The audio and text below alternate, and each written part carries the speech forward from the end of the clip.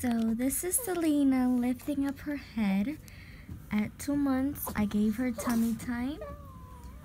And her tummy time is almost over because I gave her two minutes.